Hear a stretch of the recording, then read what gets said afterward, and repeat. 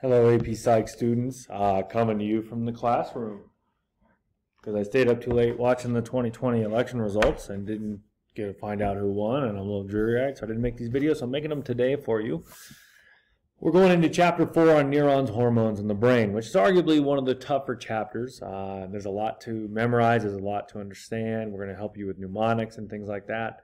Uh, if you've taken an anatomy class, you have a little bit of an advantage because this will help you. So our first section today, we're going to put the look at the nervous system, the basic blueprint of the whole nervous system we're going to look at.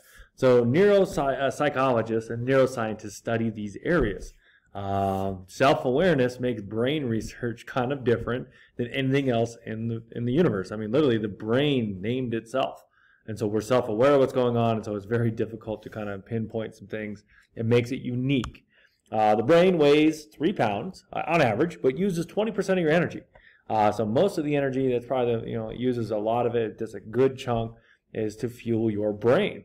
Uh, exercise gets the body moving, gets blood moving to the brain, bringing oxygen, which is fuel for your brain, and it's a cleanser. It takes out bad stuff. So if you're tired, if you're fearing, feeling like a brain fog, all you got to do is stand up.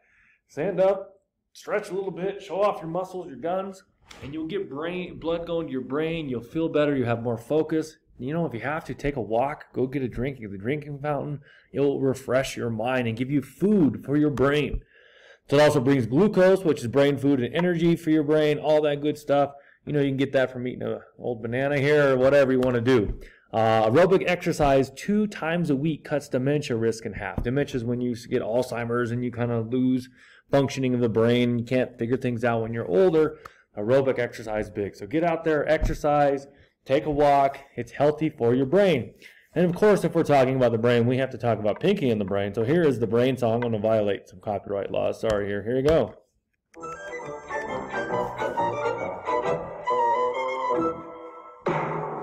And now, the parts of the brain, performed by the brain. Yes. Neocortex frontal lobe. Brainstem, brainstem. Hippocampus neural node, right hemisphere. Pons and cortex visual. Brainstem, brainstem. Sylvian fissure pineal, left hemisphere. Cerebellum left, cerebellum right. Synapse hypothalamus, striatum dendrite. Get down, brain. Jam.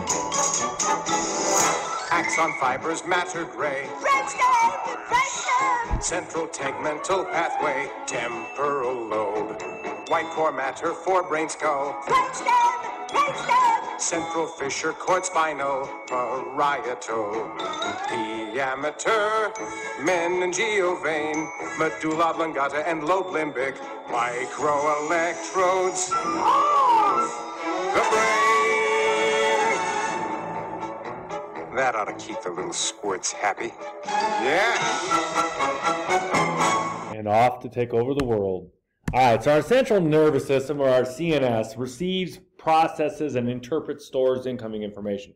Uh, it's a central highway. It's it, it's like I-70 of our, our nervous system.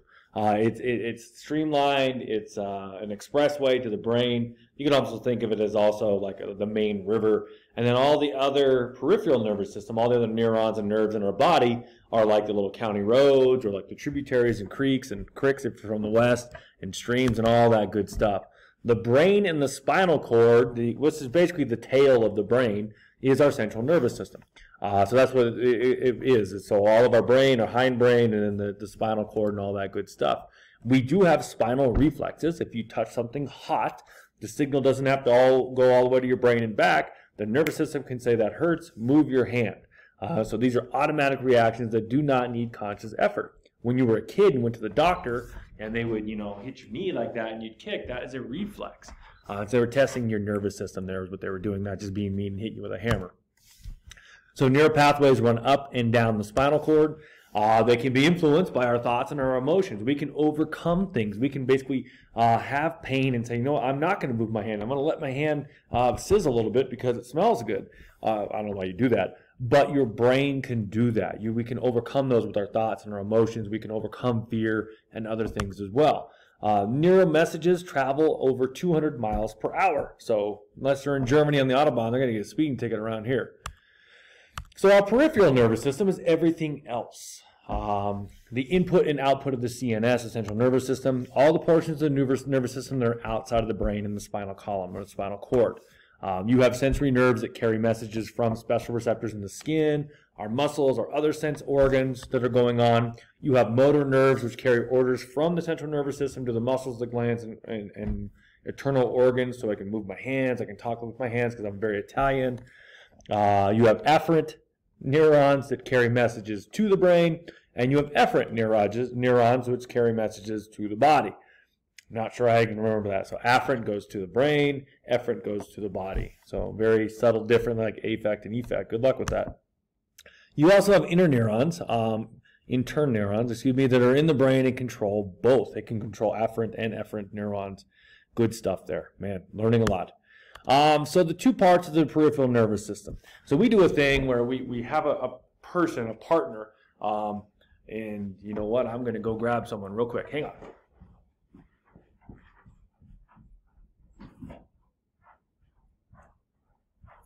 So we have our little stormtrooper here.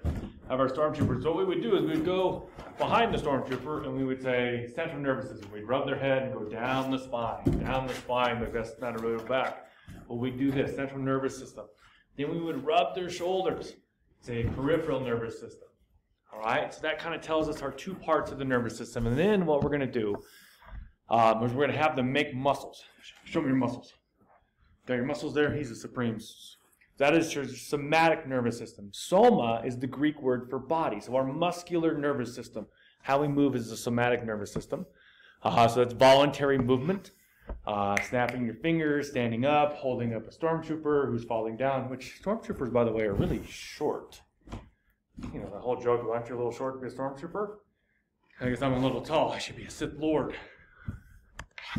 And you have the autonomic nervous system. That's our lub dub. Lub dub. Lub dub. Lub dub. That's our auto, it's automatic. It's autonomic. It's our heart rate. It's our breathing, our digestion, our glands, all that stuff that's going on. It regulates the function of our blood vessels, our glands, our internal organs. Uh, it is automatic, uh, but consciousness can override it. You can have biofeedback. Some people can slow their heart rates, they can uh, slow their breathing. You can take a deep breath and slow things down. It's very, very good.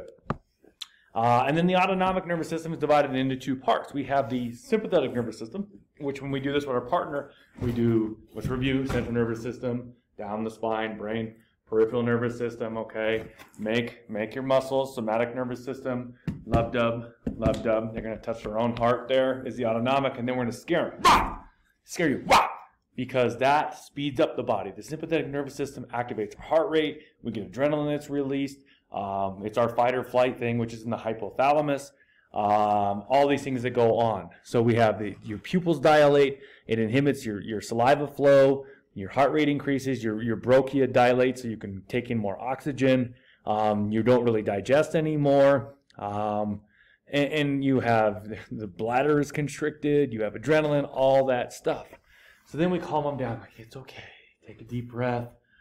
Ah, we like you. It's okay. That activates your parasympathetic nervous system. So sympathetic is fight or flight. Parasympathetic is the rest or digest, which our eyes open a little bit, heart rate slows, breathing is more regular, digestion starts, and we kind of slow down. This is why if you've ever done anything athletic and you kind of had to go to the bathroom a little bit, you kind of had to pee, and then you play the game, and like you forget about it, and then at halftime you're like, oh my gosh, I got to go to the bathroom. That's because your sympathetic nervous system kicked in during the game, you're excited, and then afterwards the parasympathetic nervous system kicked in and you had to slow down. We're going to take, say bye, Stormtrooper. Here we go. So here's how it's broken down a little more. Uh, kind of help you that. Um, really, it, it's important that you know this. It's the central nervous system, brain, and the, and the spinal cord, peripheral nervous system, which is, has our somatic nervous system. We also have our sensory neurons to feel touch and pressure and heat and all that. And then once that, again, that's broken down, somatic nervous system voluntary. And then the autonomic, which is our heart rate and all that. We have a sympathetic to scare you, fight or flight. And then the parasympathetic, ah, meditate, rest, or digest. That's all I have for this time. Hope you enjoyed this. If you have any questions, let me know.